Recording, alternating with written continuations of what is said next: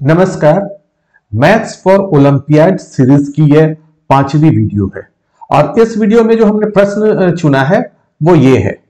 If a raise to the power a equal to eight raise to the power square root of two then a raise to the power two equal to what यदि a का घात ए है आ, इसका बराबर है आठ का घात स्क्वायर रूट ऑफ़ टू तो ए स्क्वायर बराबर क्या होगा? तो आइए इसे सॉल्व करके देखते हैं क्या आता है। A raise to the power a equal to eight raise to the power square root of two अब यहाँ हम देख रहे हैं कि इस एट को हम इस तरह से भी लिख सकते हैं। Eight square root of eight और ये घात में हम ऐसा लिख सकते हैं। तो ये स्क्वल टू एट हो जाएगा। ऐसा हो सकता है बिल्कुल। तो आइए ऐसा ही लिखते हैं।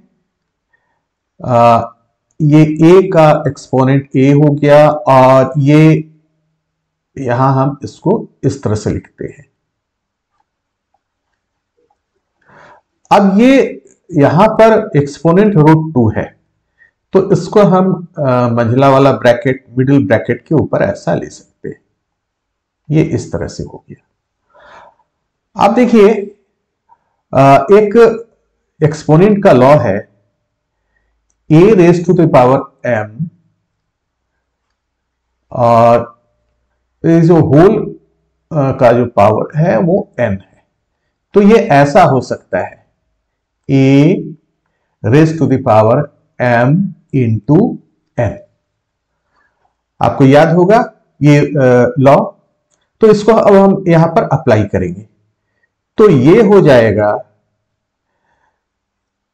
square root of eight raise to the power two into root two clear है ये? चलिए, अब हम इसको ऐसा भी लिख सकते हैं, आप गौर कीजिए।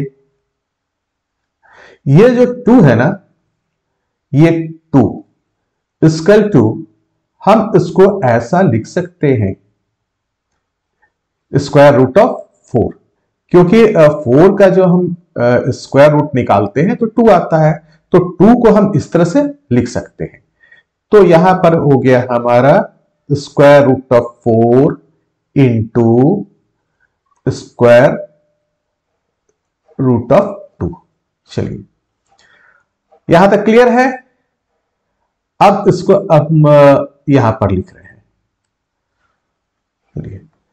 अब एक चीज़ और देखिए। एक और हमारा जो स्क्वायर रूट का जो रूल है square root of four into square root of two इसको हम इस तरह से लिख सकते हैं square root of four into two ऐसा हो गया।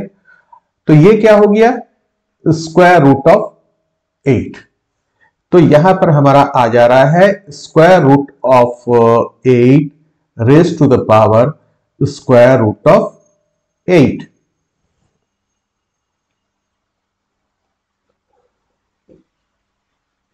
अब यहाँ पर देखिए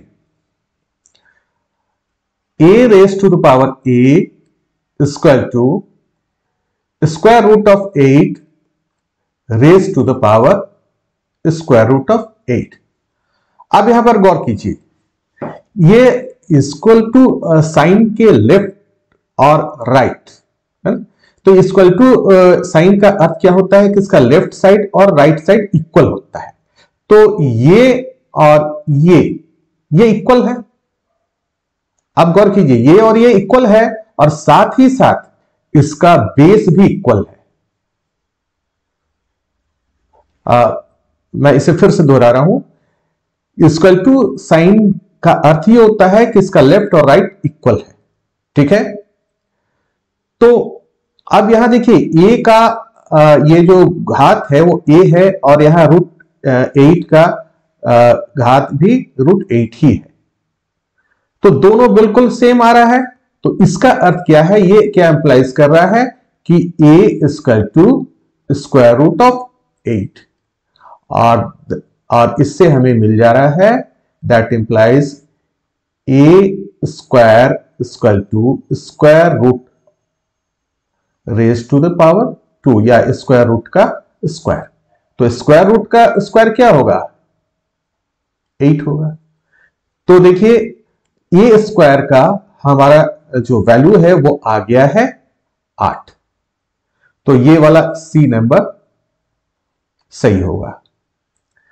आशा है कि ये प्रश्न जो मैंने आपको समझाया वो आपके समझ में आ गया होगा। धन्यवाद।